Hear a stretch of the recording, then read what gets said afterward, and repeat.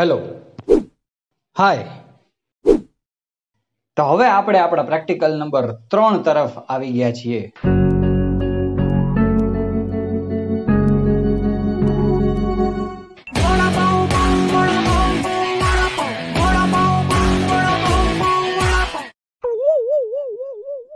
તો આપણા ત્રીજા પ્રેક્ટિકલનો એમ છે determination of normality of strong acid X normal HCl strong acid કયો છે?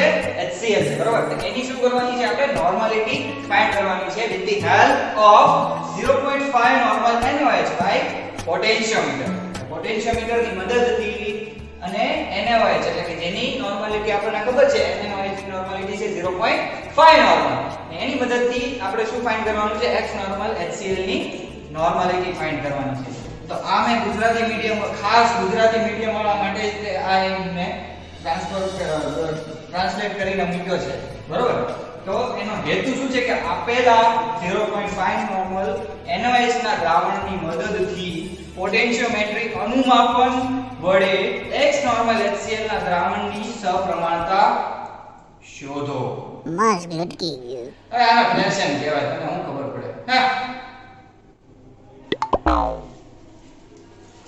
તો હવે આપણે આપણા પ્રેક્ટિકલ તરફ આગળ વધીએ છીએ. એની માટે આપણે જોશે પોટેન્શિયોમીટર. તો આ આપણું પોટેન્શિયોમીટર છે અને આની મદદથી આપણે આપણો પ્રેક્ટિકલ આ બાજુ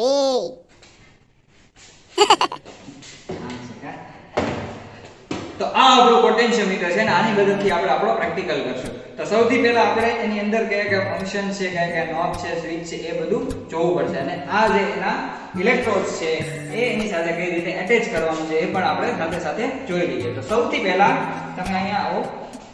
તો આ એક કેલિબ્રેટ કરવા માટેનું એક નોબ છે, બરોબર? તો આની મદદથી ઇન્સ્ટ્રુમેન્ટ કેલિબ્રેશન થશે પછી આ જે સ્વિચ છે, એ છે સ્ટેન્ડ બાય અને મિલીવોલ્ટ માટે. ઓકે જ્યારે આપણે સ્વિચ ચાલુ કરીએ અને સ્ટેન્ડ બાય પર હોય, તો ઇન્સ્ટ્રુમેન્ટ એ બંધ કહેવાશે, એટલે સ્ટેન્ડ બાય મોડ પર કહેવાશે. પણ જ્યારે આપણે એને રીડિંગ્સ લેવાય છે, ત્યારે એને આપણે મિલીવોલ્ટ પર સેટ કરી રાખશું. ઓકે પછી આ જે છે, એ રેન્જ માટેનું છે.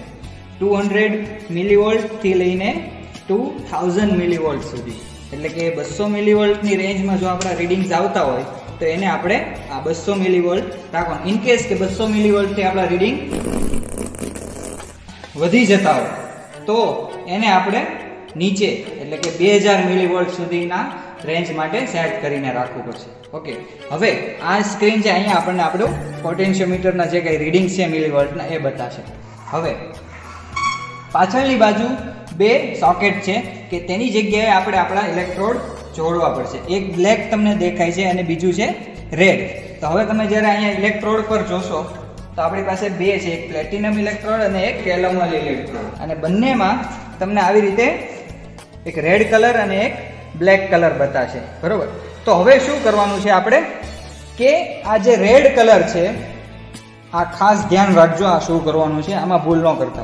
આ જે રેડ કલર છે, એને બ્લેક વાળામાં નાખવાનું છે અને જે બ્લેક કલર છે, એને રેડ વાળામાં એવું ન હોય. એ રેડ ને રેડ વાળામાં અને બ્લેક ને બ્લેક વાળામાં નાખવાનું. બરોબર?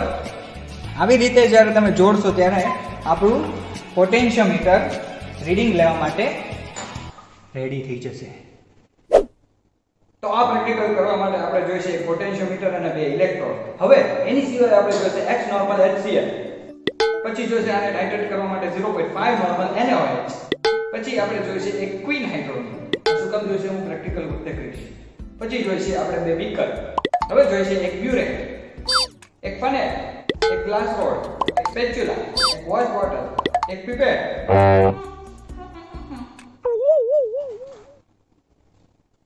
તો સૌથી પહેલા આપણે આ NaOH ને આ બ્યુરેટની અંદર ભરવાનું છે, ઓકે? 10 ml બ્યુરેટ છે.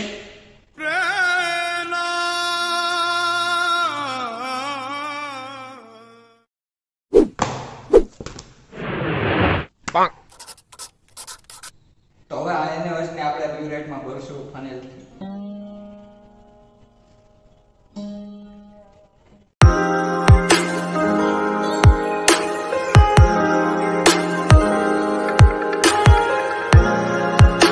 જ્યારે બ્યુરેટ ભરાઈ ગઈ છે NaOH થી તો હવે આપણે બીકરની અંદર, મારું બીકર ક્યાં છે? તો બીકરની અંદર HCl આપણે ભરવાનું છે, x નોર્મલ કે જેની નોર્માલિટી ખબર નથી, પણ કેટલું? 25 ml અને એ 25 ml આપણે આ પીપેટની મદદથી લેશું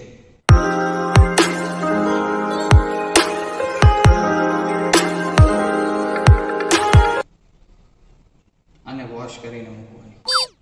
તો હવે આ 25 ml HCl વાળા બીકરની અંદર આપણે આમાંથી ક્વીન હાઇડ્રોન એડ કરશું. કેટલું? એક ચૂટકી. એક ચૂટકી ક્વીન હાઇડ્રોન નાખવાનું. ઓકે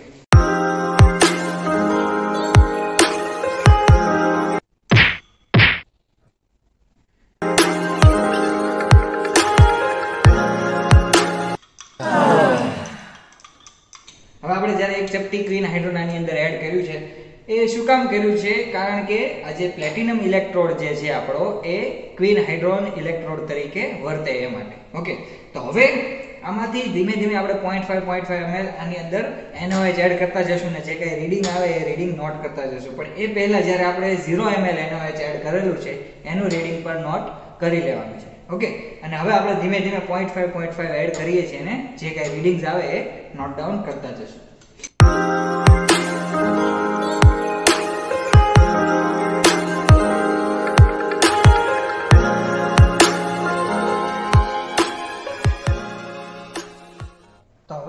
હવે આપણે 4.5 ml છે અને આપણે હજી પોઈન્ટ ફાઈવ એમએલ એડ કરીએ છીએ આની અંદર. તો તમે જેમ જોઈ શકો છો તેમ, જ્યારે 4.5 ml માંથી પાંચ એમએલ આપણે 0.5 એડ કરીને કર્યું, તો જે પોઝિટિવ રીડિંગ હતું તેમાંથી ડાયરેક્ટ ક્યાં જતું રહ્યું છે? નેગેટિવ તરફ. ઓકે તો હવે આપણે આવી રીતે જ્યારે નેગેટિવ તરફ આવ્યું છે, તો એ આપણો એક એન્ડ પોઈન્ટ બનશે. એન્ડ પોઈન્ટ આપણે ગ્રાફ પ્લોટ કરશું ત્યારે આપણને ખબર પડશે અને ગણતરીમાં કામ લાગશે. હવે આવી રીતે એન્ડ પોઈન્ટ આવી જાય પછી ચાર કે પાંચ રીડિંગ એક્સ્ટ્રા લેવાના પછી પ્રેક્ટિકલ શું કીધું? પૂરો.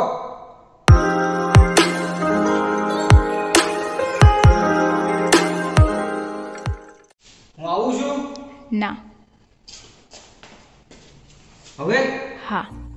હા તો હવે જ્યારે આપણે અલગ અલગ એક્સપેરિમેન્ટ કરીને જે રીડિંગ્સ ઓબ્ઝર્વેશન ટેબલ પર એડ કર્યા છે, તો એ રીડિંગ્સ પરથી આપણે બે ગ્રાફ પ્લોટ કરવાના છે. તો આ બે ગ્રાફ છે, કયા છે? એક તો E against volume of NaOH અને બીજો છે delta E by delta V against volume of NaOH કે જે આપણે મ્યુરેટ પરથી એડ કર્યો. તો પહેલો ગ્રાફ આ છે. તો આની પરથી આપણે જ્યારે તમે રીડિંગ લેતા હતા, ત્યારે ખ્યાલ આવ્યો છે કે જ્યારે 0 ml વોલ્યુમ હતું NaOH નું ત્યારે રીડિંગ આવ્યું છે, બરોબર? પછી શું થશે? જેમ જેમ આપણે 0.5 એડ કરતા જઈએ, તેમ તે બહુ ચેન્જીસ એમાં નહીં જોવા મળે.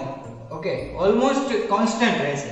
પણ એક પોઈન્ટ એવો આવશે કે જ્યાંથી અચાનક પોઝિટિવ પોટેન્શિયોમીટરના જે રીડિંગ જે છે પોઝિટિવ પરથી ડાયરેક્ટ ક્યાં જતું રહેશે? નેગેટિવમાં જતું રહેશે. અને પછી આપણે પાંચ કે છ રીડિંગ લઈએ. એટલે આ પ્રકારનો એક ગ્રાફ આવે છે. એટલે હવે જ્યારે આ રીતે ગ્રાફ મળે ત્યારે જે જગ્યાએ ક્રોસ કરે છે આપણો પ્લોટ બરોબર? તો એને આપણો એન્ડ પોઈન્ટ તરીકે લેવાનો છે V2 જે V2 આપણને આગળ કેલ્ક્યુલેશનમાં કામ લાગશે. બરોબર? બીજો પ્લોટ કેવો છે કે delta E by delta V against volume of NaOH કે જે આપણે pH માં પણ આ જ રીતે સેમ ગ્રાફ જોયેલો છે. Delta pH by delta V against volume of NaOH તો હવે આમાં પણ આપણને જ્યારે આવી રીતે હમ્પ હોય, તો ત્યાં આગળ આપણો એન્ડ પોઈન્ટ જોવા મળશે. તો આના પરથી આપણે કરશું ગણતરી. તો હવે આપણી પાસે V2 ની કિંમત મળી ગઈ છે, તો એને આપણે આપણા બીજી લેતો નોર્માલિટી ફાઇન્ડ કરવાના સૂત્ર એટલે કે n1 v1 n2 v2 આ સૂત્ર પર મૂકશું. બરોબર? તો આપણી પાસે હવે આપણે આ છે આ છે અને આ છે. એટલે આપણે નોર્માલિટી ફાઇન્ડ કરવાની છે HCl ની. તો આ ગણતરી આપણે પહેલા પણ કરી ચૂક્યા છે, સાવ ઈઝી છે. બરોબર? N1 n2 v2 v1 n2 કેટલું છે કે NaOH ની નોર્માલિટી જે કેટલી હતી? 0.5 v2 આપણને ગ્રાફ પરથી મળ્યું છે 5 અને v1 v1 આપણે કેટલું લીધું હતું?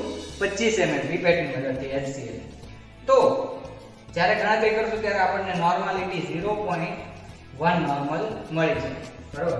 તો આ આપણો જવાબ છે એક્સ નોર્મલ HCl, કે જેની નોર્માલિટી હતી, કેટલી હતી?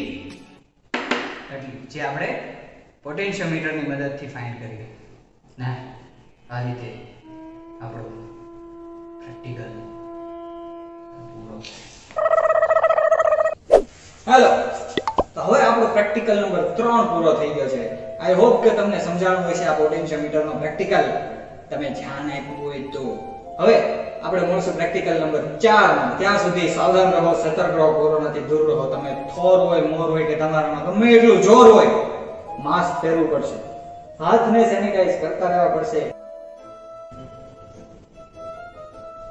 જય હિન્દ.